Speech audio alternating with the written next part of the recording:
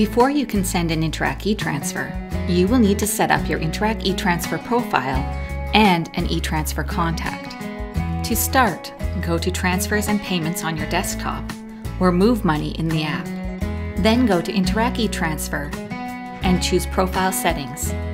Enter your email address, and you can also enter your mobile phone number if you like. Choose whether you would like your e-transfer notifications to go to just your email or to both your mobile phone and your email. Then continue. Confirm that all the details you have entered are correct, and then continue. You will now receive an authentication code at either your mobile phone or email address. Enter the code here, then continue. You have now successfully set up your Interac e-transfer profile, and your digital banking will remember it so you will not need to set it up to send future e-transfers. Next, we'll set up an e-transfer contact. To do this, go to Transfers and Payments on your desktop or Move Money in the app. Then go to Interac e-transfer and choose Manage Contacts. Choose Add Contact. Enter the name of the person you'd like to send money to, and then enter their email address and or their mobile phone number. Next, depending on which contact methods you filled out. Select whether you would like them to be notified of the e-transfer by email, mobile phone, or both.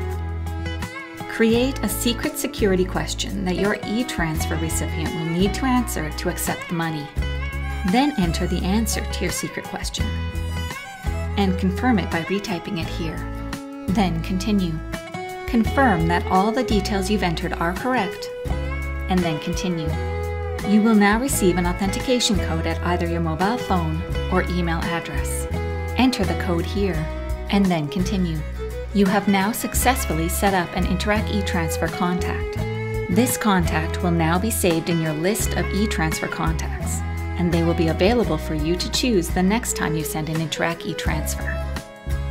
Now that you've set up your profile and an e-transfer contact, you can send an e-transfer. Go to Send Interac e-Transfer. Choose one of your accounts to transfer the money from. Then choose a contact to transfer the money to. Enter the amount you would like to send to your contact. You can also send them a short message with your e-transfer, if you like. For security reasons, be sure not to include the answer to your secret question in your message. Then continue. Confirm that all the details for your e-transfer are correct, and then continue. You have now successfully sent an Interac e-transfer.